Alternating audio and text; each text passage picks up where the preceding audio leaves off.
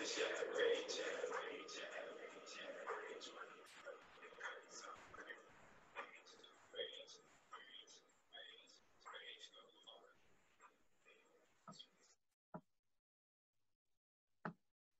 Hey guys, welcome into Mock Draft Monday. Happy July to you. That's right, it's July 6th. Hope everybody had a great 4th of July weekend. You just heard my boy C Zone, local artist here from Lafayette, Louisiana. If you don't know about him, learn about him. He's on YouTube. Go check him out at C Z O N N E.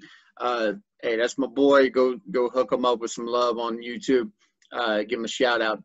Listen, we are having a very special mock draft Monday for you. Uh, welcome into Fantasy Football Academy 2020. I am the Dean, and we are doing a mock draft by request. That's right. Go to any one of my videos, hit me up on the comment section, and you too can request a special draft just for you. This right here is for my boy D Money. You know him, you love him, you've seen him on here before. He sat through some uh, some mock drafts with me, sat through a couple episodes, and he wanted a 10 person draft, running back heavy from the fifth position. Now, I'm going to tell you right now from the fifth position or even the sixth. Uh, that's kind of middle of the pack for that kind of league. Uh, so if you go, let's say you got a 12 man league, five, six, seven, you're looking at the middle of the pack. It can be a very tricky spot to choose from because you're going to be either starting trends or you're going to be wrapping up and catching them on the backside when they do runs. So if you have a run on quarterbacks, if you have run on wide receivers, you're going to be you can either be reactionary or you can be proactive and start that run. Uh, if you start that run, you're going to be getting the higher tier guys in that run. If you're going to be reactionary and you catch it on the tail end, you, a lot of the times you hit the panic button. You see these guys going. You see tight ends going you're going to see guys taking Kittle and Kelce and uh, Andrews and Zach Ertz and all these big names, and you're going to be like, oh my gosh, I got to get a tight end. No, guys, calm down, pump the brakes. If you watch this before and you see my mock drafts before, you know that you can wait on a quality tight end toward the end of the draft. It's not a big deal if you miss them out. Okay, so pump the brakes. We're going to teach you. We're going to show you. We're going to walk through, walk with you through this and get you right on your mock drafts. 10 person league, your talent pool is going to be a little deeper to choose from than a 12 or a 14 man league.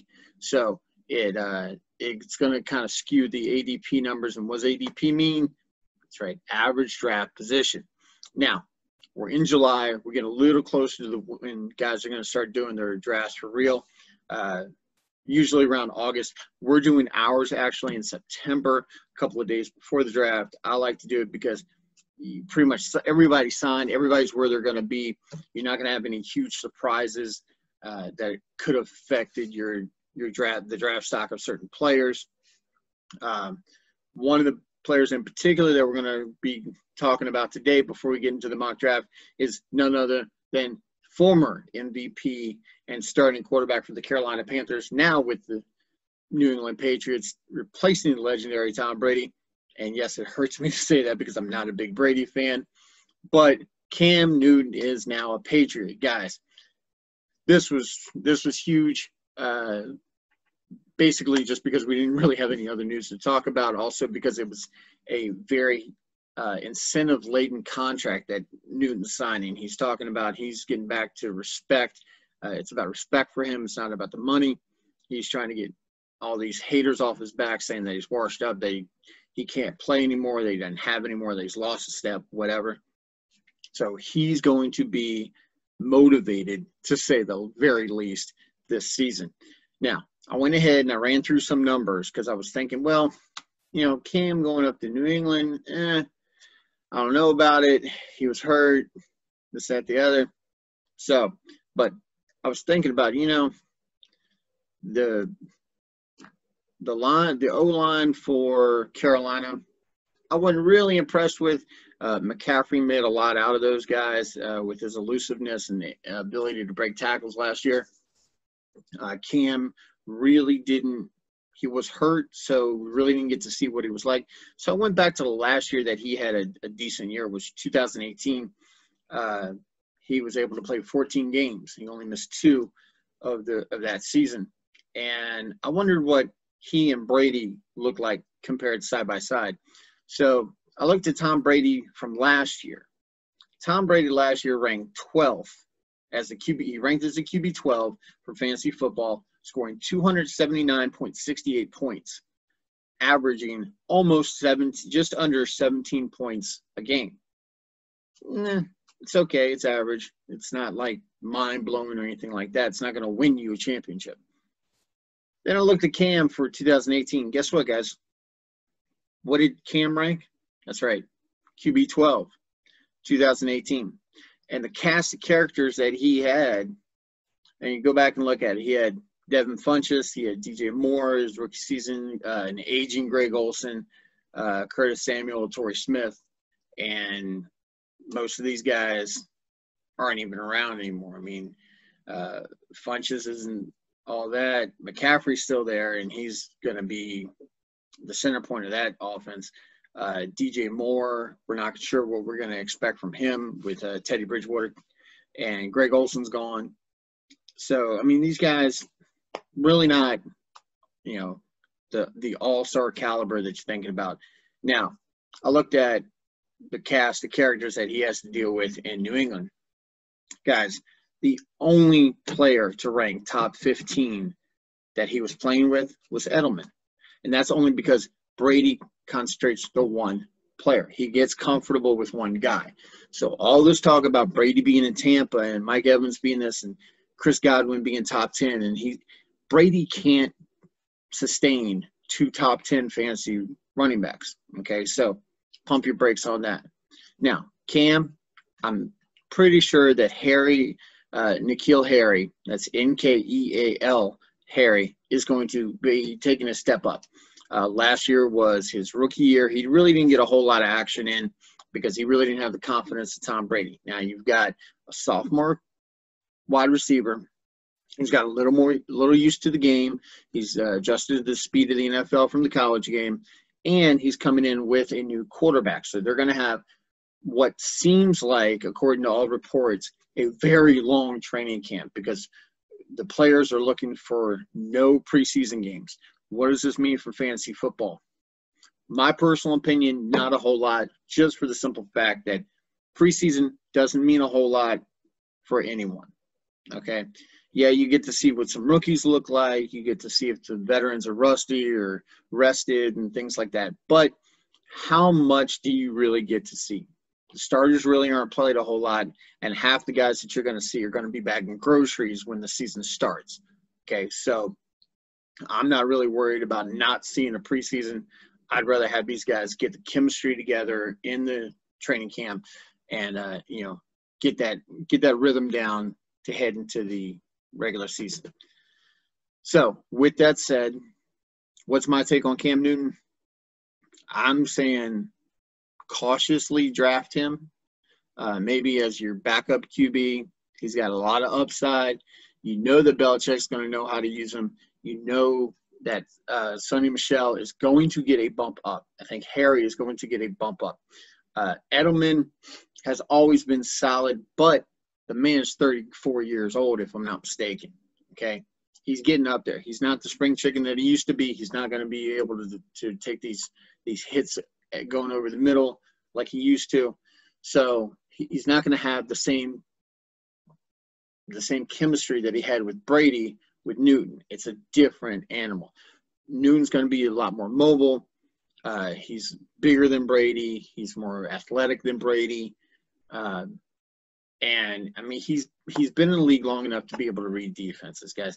He's going to have a chip on his shoulder. He's going to be uh, driven because he has a very incentive laden contract. So if he doesn't prove himself this year, he doesn't get paid, and New England's already got a fran- is able to franchise him next year. They've already worked that out. So, with that said, New England has bought into Cam Newton. Now, you've seen a lot where when New England ships a player off, they might be good for that one year after they've left New England, and everybody looks at it and goes, "Why they leave New England? Why New England let them go?"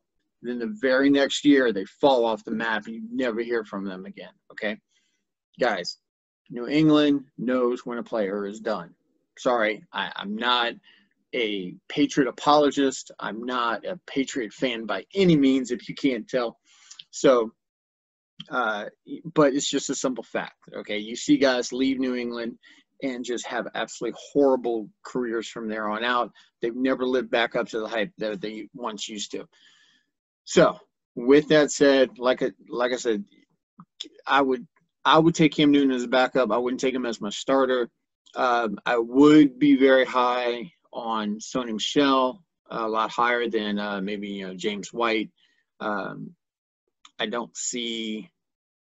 I, I, I see a lot of upside in Harry uh, because I don't think Cam's ever really had that big stereotypical receiver to throw to. He's still got an arm. He's still got a cannon.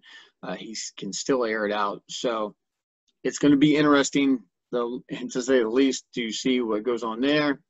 Um, without any further further ado, uh, we are going to be to be checking out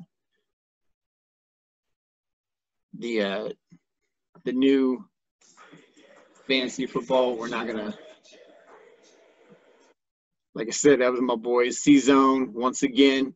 Uh, so you see up here, we got our draft configuration. And guys, please go check them out. Go check out my boy C Zone, uh, showing some love. That's C Z O N N E. Um, and uh, on on my channel down bottom, when you see it, hit the bell, subscribe, like, share. I'd appreciate it. Uh, you know, I'm out here grinding, trying to put these this content out for you guys. So please support the uh, the program. Uh, we've already got it set up here. 2020 season standard scoring uh, snake formation with a basic pick logic. Uh, number of teams is 10. Like I said, we're picking from the fifth position.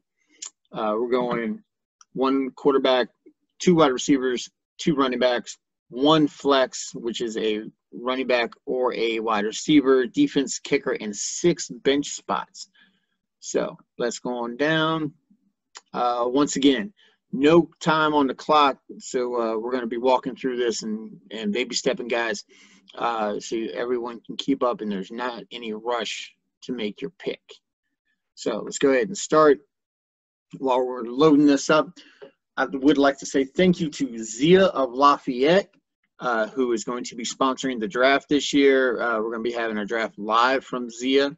Uh, I will post the uh, the results of that. So, let's say we got a pop-up ad. So, with the fifth spot, you see that McCaffrey, of course, went first. Barkley went second. Elliott went third. No big surprise. My big surprise is this: is that Cam Newton, or not Cam, sorry, Cam, Michael Thomas. I'm talking about Cam Newton on the brain.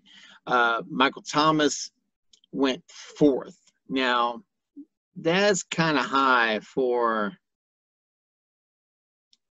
for this for a non PPR league. Okay, uh, I'm I'm super excited here that Derrick Henry fell, so we're going to go ahead and take him. I'm going to see who falls off here. DeAndre's gone. Now, here's the thing: is that we were requested to do a running back heavy draft, so we're going to go cheat sheets. Uh, let's go ahead and hide the drafted players because we already know who left if they're gone, we can't pick them up anyway, so there's no sense in, that, in looking at them. Uh, we look at our running backs here. We've got Aaron Jones. Now, if the Packers believed in Aaron Jones, they wouldn't have drafted, drafted A.J. Dillon, okay?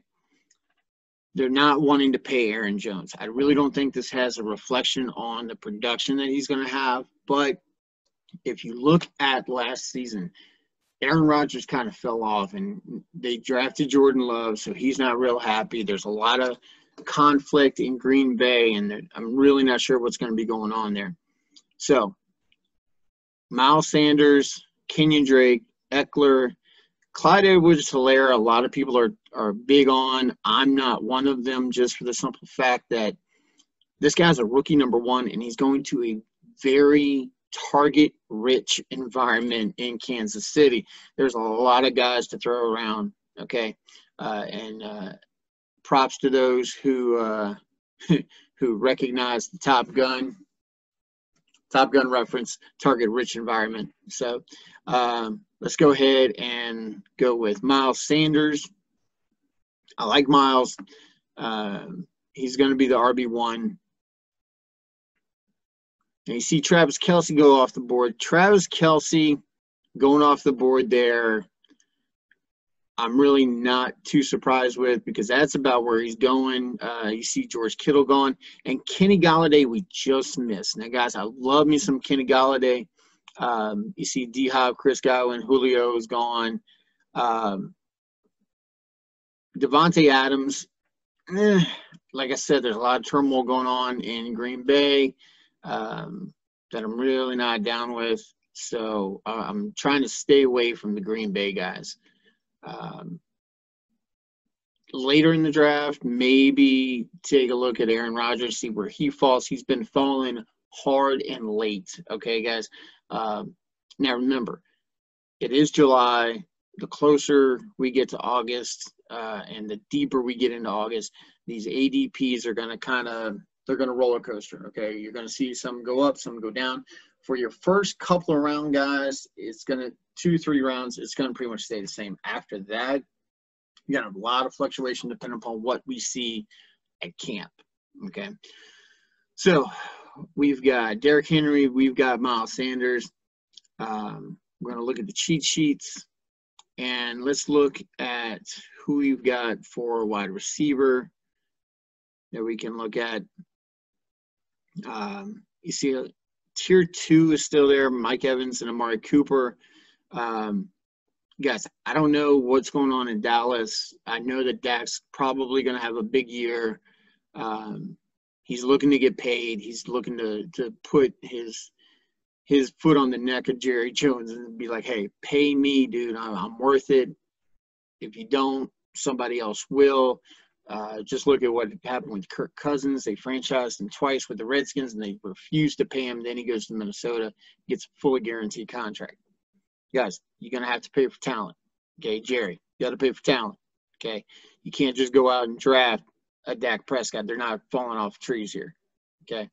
Um, now, with that said, like I said, if you see the jersey behind me, you know you know right well that I'm not a, any kind of a Dallas fan, but I'm going to speak the truth to you guys. And the truth is, is that Dak is ticked off. He's not getting paid, uh, and he wants his money. Now, you look at this bunch right here for tier three running backs. It's going to be really, really enticing to take Kenyon Drake after what he did last year and the offense that he's in. It's going to be very tempting to take him. It's also going to be very tempting to take uh, Austin Ekeler. Okay, just me personally, because Ekeler had a really good year for me. Uh, and being at the fifth position, you still got the back end of the round and then the front end of the next coming, and one you're not going to get. There's possibility that all four of these guys are going to be gone. So I want to look down here at tier four. Uh, we're going to see Leonard Fournette. Fournette is kind of in the same predicament that um, that Dak is in. Uh, the only difference is, is that I don't believe that Jacksonville really wants him to be there, and he doesn't want to be in Jacksonville. He had uh, a lot of controversy when he came out and called for Cam Newton to come there, so he doesn't have a lot of confidence in his quarterback or Minshew, but the organization does. If the organization signing your paycheck, you might want to think about falling in line if you want to stay there. If not, he better ball out this year. Uh, I see uh, three good number ones here. Uh, David is going to be number one in Houston. Um, there's about 250 carries in the running back position that got vacated when Carlos Hyde left and went to Seattle. So David Johnson's definitely going to be getting the volume. David Montgomery, there was a lot of criticism from the head coach there in Chicago. Um, he's on the hot seat. He got cute last year, pulling David Montgomery out when third and one, third and goal, um, trying to throw the ball in. It's it was a mess. So look for David Montgomery to get a lot of work this year. Raheem Mostert, guys, Raheem Mostert, he is the one that stayed. Matt Breida's got shipped out to Miami. Uh, so San Fran has made their bed and they're ready to roll with Raheem Mostert. Uh, so with that offense, I don't see it. They, you know, they jettison Breida, they jettison Emmanuel Sanders. Where's the catch is going to go to? Where's the the attempt, the rushing attempt's going to go? To the last man standing. That right now is Raheem Mostert. Yeah, they have Tevin Coleman, but Mostert's a better runner. Okay, so you got these three guys here. You in Fournette, DJ, Raheem Mostert. If I come up here, I'm probably not going to get uh, all four of these guys fall back to me. So I've got to pick one. Out of this group here, Todd Gurley is probably the only one that I'm taking at this point. And I know that before I wasn't really high on on uh on him, but as time has progressed, and you'll see this happen a lot, I've kind of softened up a little bit on Ty Gurley. I do give you caution because of the knees, but he did pass the physical. He is the only option in running back in Atlanta, and they do have a high powered offense. So I'm playing the odds on this one. Um, let's check out our roster. We've got Henry, Miles, and Gurley. So we've got our we got some good running backs here. Let's go to wide receiver, see who's going on here. Our number one, know, we're down to tier three. Now, I'm going to tell you right now, if this was not a requested running back heavy draft, I would have already taken Calvin Ridley last pick and left Todd Gurley to wherever he was going to fall. Um, with that said, I'm going to look at a guy who I believe is going to get a lot of volume because Big Ben's back in town. So we're going to take Juju. Uh, as you see, a lot of guys off the board now. The Melvin Gordon pick, I don't like the Melvin Gordon pick this year, guys. I'm not going to lie. Um, he didn't get a whole lot of uh, a whole lot of vote of confidence in uh, with the Chargers last year. He held out, and Ekeler stepped up and balled out. So they let him go, and he's in Denver with a huge running back committee um, between him, Phillip Lindsay, uh, Royce Freeman. All those guys are going to be vying for carries, and not everybody's getting fed. Okay. So, with that said, let's look at who we've got here now. You'll see right here for the overall that Cooper Kupp and Robert Woods are back to back. I'm kind of stung on the Rams offense right now, and I like the Tyler Lockett. Um, I like the DeVante Parker. But I'm going to go down here, and as I've said, this was a requested heavy laden, running back laden uh, heavy draft requested. So we're going to take David Johnson. Uh, we're going to see a bunch of guys go off the board here. Let's take a look and see wide receiver wise who we have because we've got to get another wide receiver. We've got four running backs right now. Uh, you see Robert Woods made it through. Tyler Lockett made it through. Um, let's look at our draft board and we're, we're going to show you. Okay, right here, we got first, second, third, fourth round. You see a lot of running backs gone. Okay. I'm sorry, a lot of uh, receivers gone. Yeah, one, two, three, four, five. Yeah, five running, five wide receivers gone in the fourth, seven between the third and the fourth. Okay. Here, another five gone in the fifth. And we've got one. Okay. So you want to be smart here. Uh, like I said, the Kenny Golladay pick or the the Ty Gurley pick, um, I would have gone with Calvin Ridley. I like Ridley. Uh, he's you, you've got guaranteed production there, proven production in a high-powered offense. Um, Mike Evans, I would stay away from Amari Cooper. Look, Amari Cooper is going to get work because they paid him. Then you've got Michael. You got um, a lot of guys that are going to take Gallup. Guys, if they believed in Gallup and Amari Cooper and that was going to be it, they wouldn't have drafted CeeDee Lamb. Okay, I get that he fell to him. I get that you know he was the the best pick at that spot, but you just paid a top receiver. You already paid your running back. You need to pay your quarterback, and now you're going to go out and get another wide receiver that could potentially command as much money as Amari Cooper does, or even more. It's just not smart. So there's something going on in Dallas. They see something in CeeDee Lamb, and I'm not really sure what it is yet, but that does not bode well for an aging Amari Cooper and for Michael Gallup, who just doesn't impress. Uh, DJ Moore, we don't know what we have there in Teddy Bridgewater. I don't like that pick. Um, Adam Thielen would have been a good choice at that point. Um, I like AJ Brown.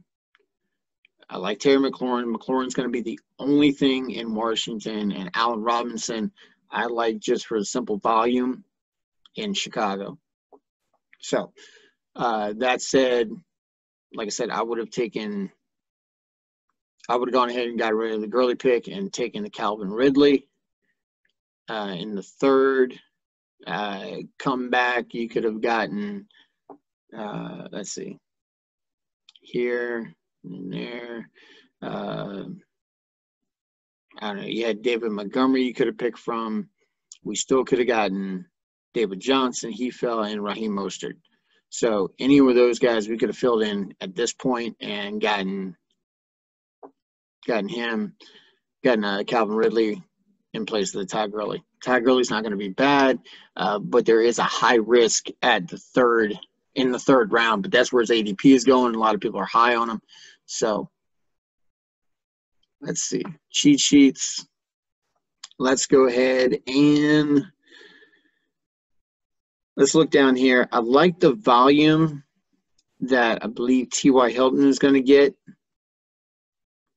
Uh, I I'm big on Aaron Rodgers, or not Aaron Rodgers. Uh, I'm big on Philip Rivers this year.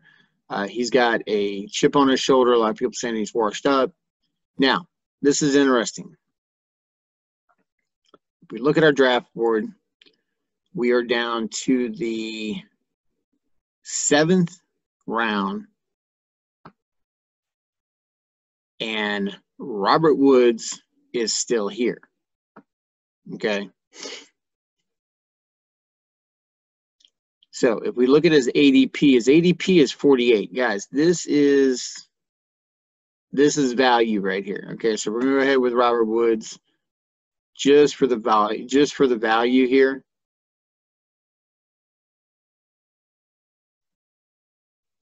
And let's look at running backs. Now I know my boy D Money loves him some Phillip Lindsay, but please for the love of God, stay away from Phillip Lindsay this year, guys.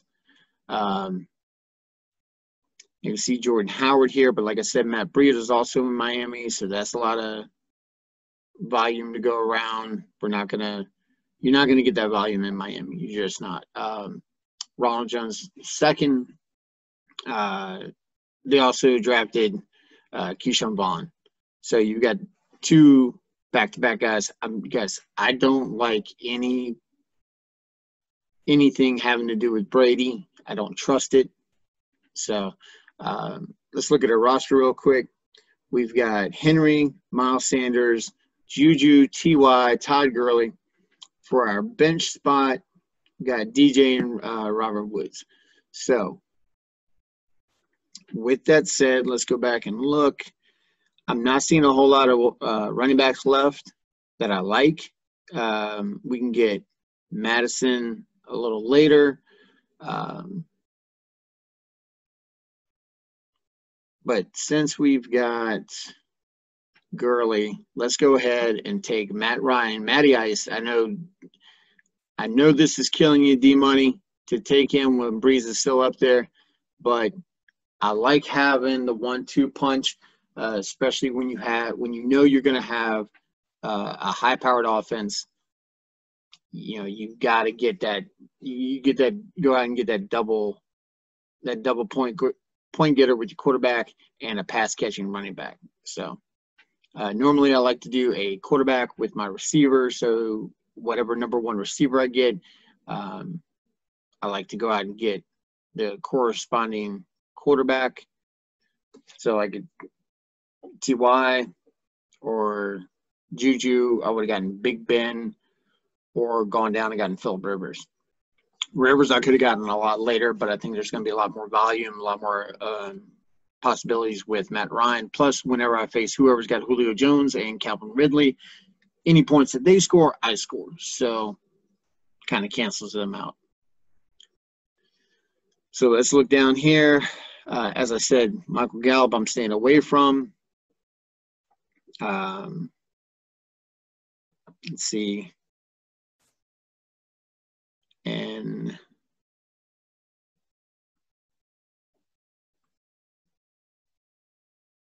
let's look at our draft board real quick, guys.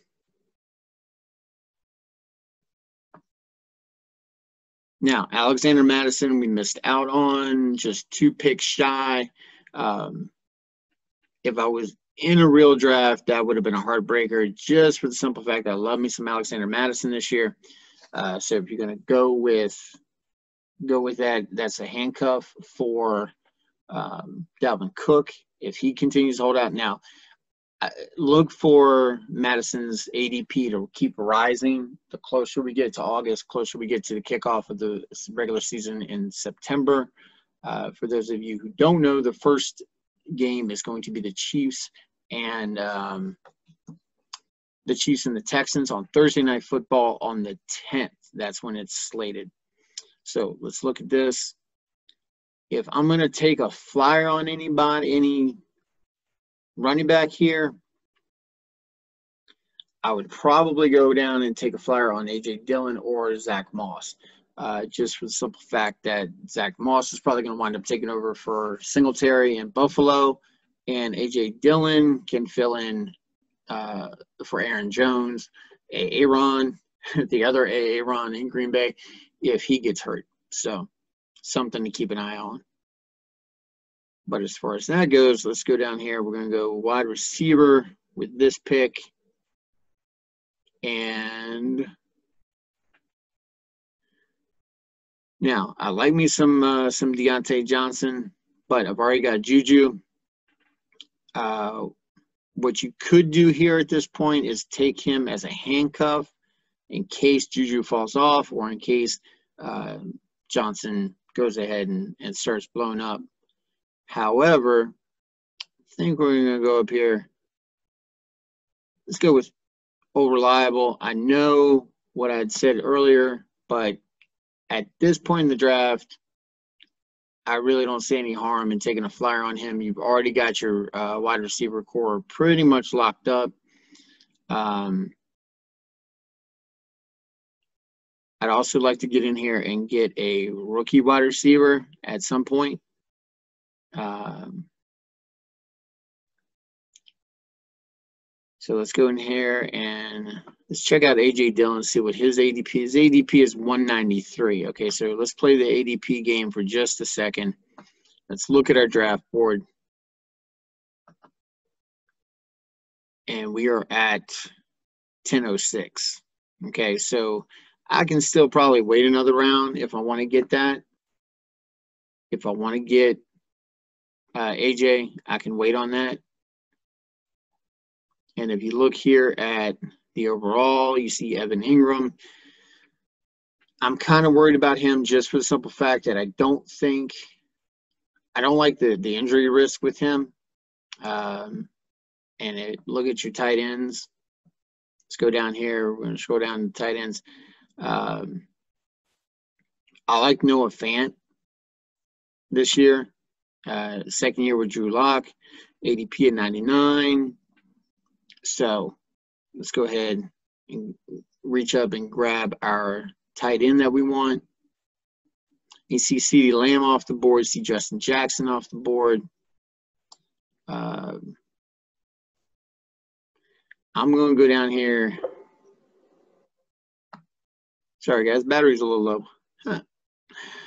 So uh, let's go with Manuel Sanders. Get you get you a little Saint flavor in there for my boy D Money. I know he, he's a big Saints fan, so we're gonna go ahead with that.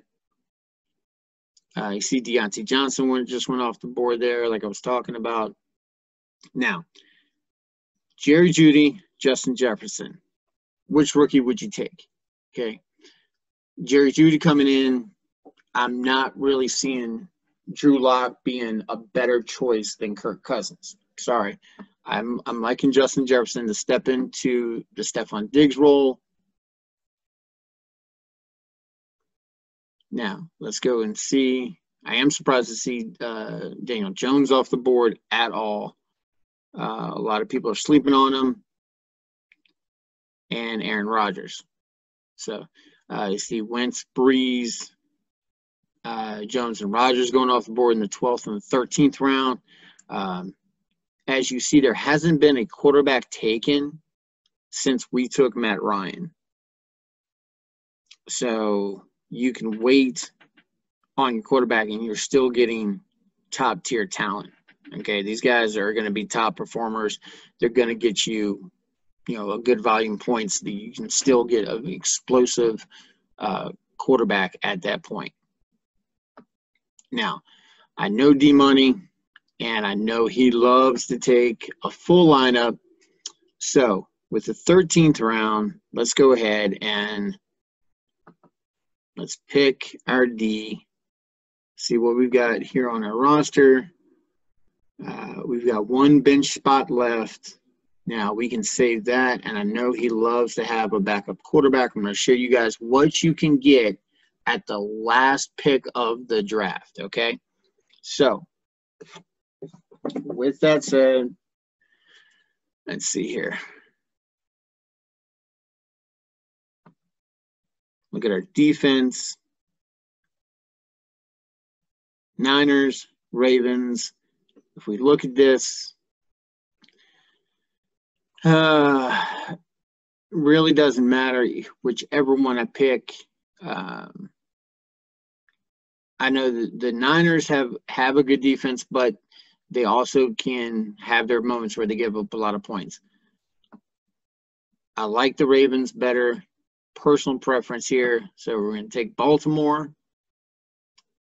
And you see a lot of a lot of defenses going off the board there. Um, let's go kicker. Let's check out our draft board real quick. So you see, we took the Ravens, and the only other teams that were gone was New England and Pittsburgh. So New England went really early in the 11th.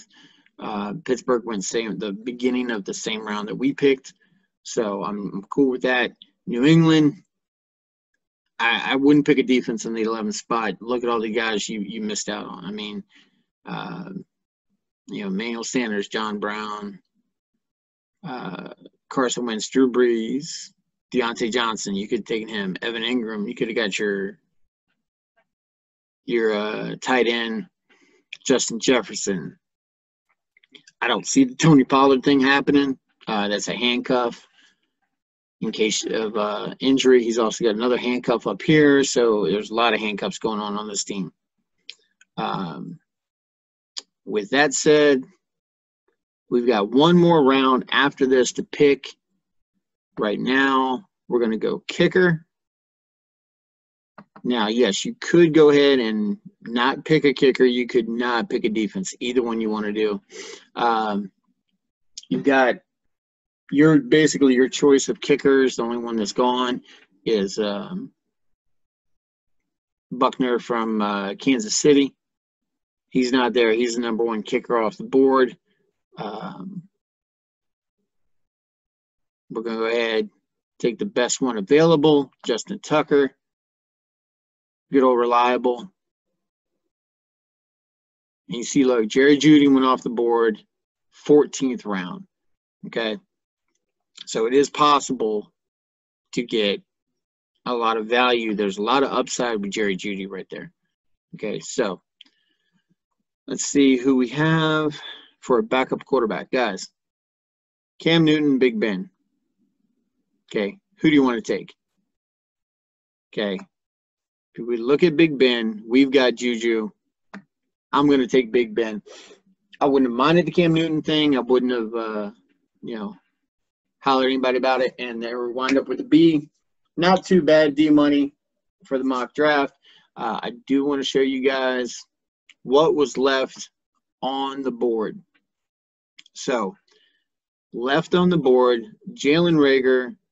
I'm loving Jalen Reagor. Uh, Henry Ruggs III, speedster, Mecole Hardman could be something in KC, is something to keep an eye on. Uh, N'Keal Harry, guys, listen to me. N'Keal Harry can be very valuable this year, but as you see, you can wait on him. Um, as far as quarterbacks go, you see your quarterbacks, uh, Cam Newton, Jared Goff. Uh, I don't believe in Baker. Um, Kirk Cousins, Jimmy G. I, I'm not a real big Jimmy G fan. Uh, Philip Rivers, guys. Philip Rivers, Drew Lock, um, Teddy could have a lot of upside for you this year. Um, so there's definite value later in the draft with quarterbacks. Uh, don't feel pressured into taking anyone specific. Now, with that said, I'm going to tell you right now if you are drafting, let's say, the one spot and you get back to back, and somehow either Mahomes or Lamar fall to you at the turn, and you've gone running back, running back, and you're comfortable waiting on a wide receiver, go ahead take Lamar with your third overall, your third pick or your first pick in the third round, because um, that's probably what you're doing right there. Is you're getting a running back, quarterback in one. Okay, so that's something to think about. So with that said, let's hop out of this.